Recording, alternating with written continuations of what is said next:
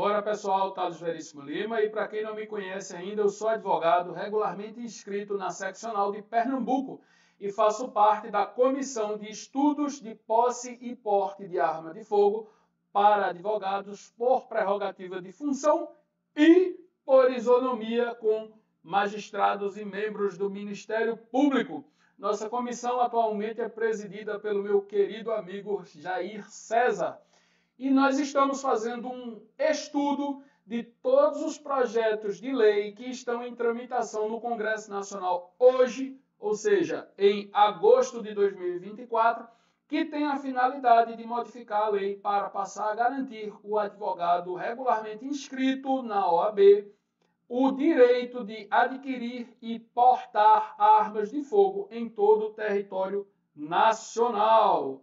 Repara aí, esse é o material físico que a gente está produzindo, juntamente com essa coleção de vídeos relacionada ao tema. Esse é o sexto vídeo dessa playlist. Se você ainda não viu os vídeos anteriores, dê pausa, volte, assista desde o primeiro e depois venha para esse. Se você já assistiu os vídeos anteriores, vamos comigo nesse vídeo agora, no sexto vídeo, e vamos falar sobre o projeto de lei. Olha aí, considerações sobre os projetos de lei propostos com o objetivo de conferir à advocacia porte de armas para defesa pessoal. E nós já falamos nos vídeos anteriores sobre o PL 6109, o PL 227, PL 2321, 3309, 97, 343, 3213 e este vídeo refere-se ao PL 2221 e ao PL 1336. Deixa eu colocar na tela, um minuto só. PL 2221, de autoria do deputado Expedito Neto, do PSD, que encontra-se encontra em tramitação na Câmara Federal dos Deputados. É um PL de 2019 ou seja, já passou aí alguns bons anos sem votar, sem a devida votação no plenário. E esse PL tem como a finalidade o seguinte: altera o artigo 6 da Lei 10.826, de 22 de dezembro de 2003. Pessoal, para quem ainda não está familiarizado, essa Lei 10.826 é o Estatuto do Desarmamento, conhecido, né? E o artigo 6 dele aqui, ó, cadê? Deixa eu achar. Sexto é a proibição, é proibido portar armas de fogo em todo o território nacional, salvo para casos previstos em legislação e para. Aí ele diz aqui as categorias que têm o direito ao porte funcional, né? dentre elas juízes, promotores, policiais e por aí vai. E ele diz o seguinte aqui, ó, Artigo 1 a Lei 10.826 passa a vigorar com as seguintes alterações. Inciso 1 aí acrescenta o inciso 12 no artigo 6 e diz: os advogados com inscrição ativa na Ordem dos Advogados do Brasil que requererem o porte de arma através de suas respectivas seccionais. Então aqui a gente já vê que quem vai gerenciar esse, segundo esse projeto, quem vai gerenciar aí o porte de arma para o advogado é a OAB. Não é que vai ser cadastrado na OAB, mas a OAB vai intermediar o pedido de porte para o advogado no Sinarme ou no Sigma, conforme seja o caso. Vamos para frente aí que vai ficar mais claro. Desse ao parágrafo 2 do artigo 6 a seguinte redação. Espera aí que eu baixei demais. A autorização para o porte de arma de fogo aos integrantes das instituições descritas no inciso 5, 6, 7, 10 e 12, que é o que ele pretende acrescentar aqui, que são os advogados, do caput deste artigo está condicionada à comprovação dos requisitos que se refere o inciso 3 do artigo 4 desta lei. Vamos ver o que é que diz o inciso terceiro do artigo 4 Cadê o artigo 4 Aqui.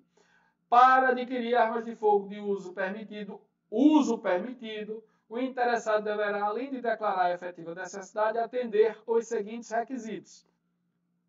Inciso 4, inciso 3 comprovação da capacidade técnica e aptidão psicológica para o manuseio de arma de fogo atestadas na forma disposta no regulamento desta lei. E todo mundo sabe que tem que se passar em um teste psicológico e um teste de tiro em profissionais credenciados na Polícia Federal. Então, para o porte do advogado, não há qualquer privilégio, mas tão somente a isonomia com qualquer outra categoria, inclusive com os civis que conseguirem demonstrar a efetiva necessidade, comprovar, para ser mais exato, a efetiva necessidade.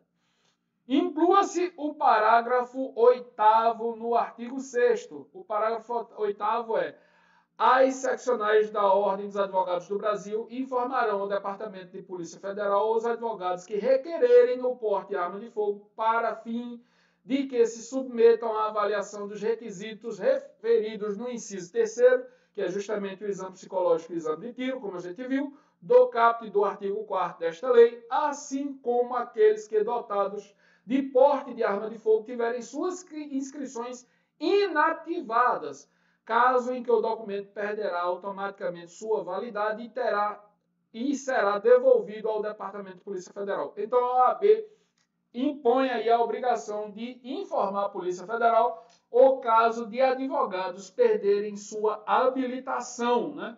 E obviamente faz todo sentido, porque se o porte é por prerrogativa de função, ou seja, para a função da advocacia do advogado, se a pessoa deixar de ser advogado por qualquer motivo, obviamente e naturalmente, em consequência, também vai perder o porte de armas, é óbvio.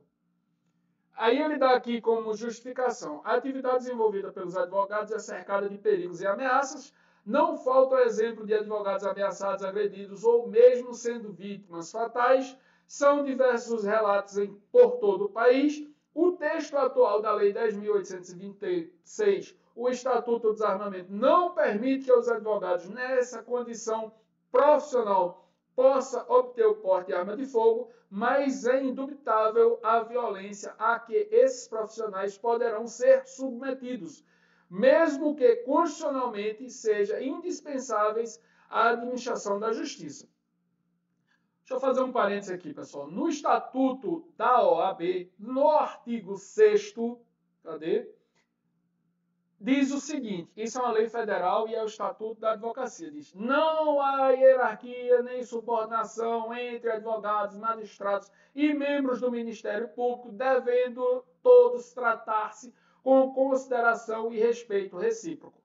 Obviamente, se a lei diz que não há hierarquia nem subordinação, se, se hoje os magistrados eles possuem porte de arma por prerrogativa de função, tal qual os membros do Ministério Público, e se o, a matéria-prima, o meio pelo qual o advogado exerce sua profissão é o processo, tal qual os magistrados e os membros do Ministério, Ministério Público, e se para aqueles é garantido o porte funcional, resta óbvio que se o meio é o mesmo e se a profissão é considerada violenta para juízes e promotores, também é violenta para advogados. Por quê? Porque o advogado senta na mesma mesa e trabalha com o mesmo processo, com o mesmo meio, a mesma matéria-prima, que é a solução de conflitos na sociedade por meio de processo. Então, se a profissão é violenta para juízes e para promotores. E se a lei garante que não há hierarquia nem subordinação e aqueles profissionais, juízes e promotores, é garantido o porte por prerrogativa de função, esta mais do que comprovado e óbvio que para advogados também é necessário. Aliás, vou além.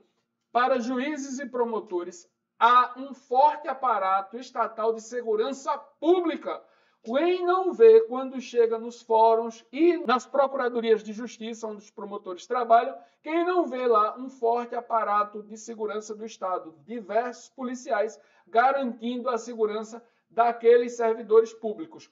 No entanto, em escritórios de advocacia, quem tem o dever de fazer sua própria segurança é o próprio advogado. Não há qualquer destinação de segurança pública para os escritórios de advocacia, que por fim terminam recebendo qualquer pessoa que chega na sua no seu escritório. Então, resta mais do que justificado a necessidade do porte de arma para advogados. E o deputado continua aqui. Desse modo, há de se perceber que esta proposição vem no sentido de garantir a maior segurança a esses profissionais que tanto zelam pela segurança do nosso país, permitindo-lhes a concessão do porte de arma de fogo, desde que sejam cumpridos os requisitos de avaliação médica e psicológica, treinamento do manejo e disparo de armas de fogo e etc. Como, por exemplo, aí entra no etc. as certidões negativas criminais. Em face do exposto, contamos com o apoio dos nobres pares para a aprovação desta proposição. Deputado Expedito Neto. É, pessoal, é importantíssimo o porte de arma para advogados.